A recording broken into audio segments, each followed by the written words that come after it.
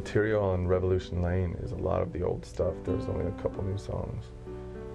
What what happened was when we uh, when we had um, when we were going to do the new version of everything, we were going to take all those old recordings and just drag them into the trash, ceremoniously get rid of this old obsolete record that we've been making since we were um, since we uh, had these uh, since we had these new this new plan. Um, so we chucked everything, right, thinking that we were going to make this new great record.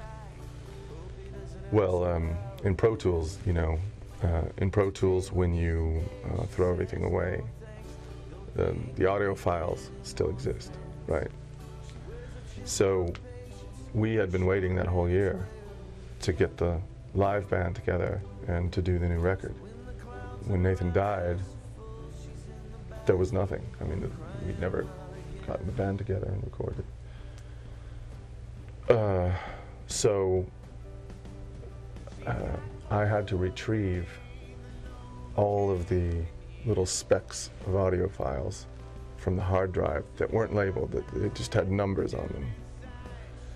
And uh, reconstruct Nathan's vocal. That was the thing that I prioritized. And, it, you know, technically it was a nightmare. It doesn't take so much patience, it's, uh, it, it's too painful. Because you bring up a file and you'd have to figure out what song it's from, you know.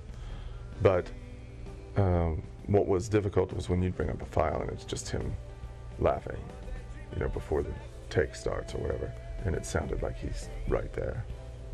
That that was what was tough. The first year, I really, I couldn't, you know, couldn't do it.